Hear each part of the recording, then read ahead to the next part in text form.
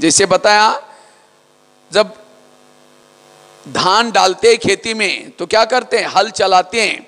इसी तरह ज्ञान का बीज बुद्धि में डालने से पहले आधा घंटा योग करना ज़रूरी है।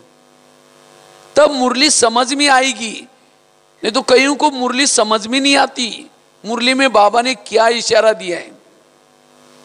मुरली को समझने के लिए योग ज़रूरी है।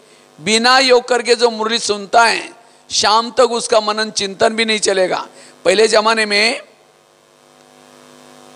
मटकों में मक्खन निकाला जाता था, मटके में। माताएँ क्या करती थी? और वो कितना बजे निकालती थी?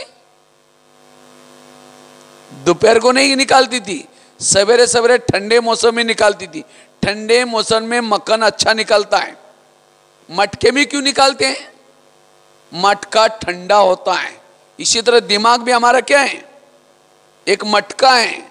और यह मटका जितना ठंडा रहेगा, उतना मक्खन निकलेगा। लेकिन आजकल सभी के मटके गर्म हो गए हैं। और इसीलिए मक्खन के बजाय जहर निकलता है। हर एक के प्रति जहर भरा हुआ, ये ऐसी है, ये ऐसी है, हा? सभी के प्रति निगेटिव इसलिए पॉजिटिव बनो। सकारात्मक बनो। इसलिए आज से आधा घंटा क्लास के पहले क्या करेंगे? योग करेंगे।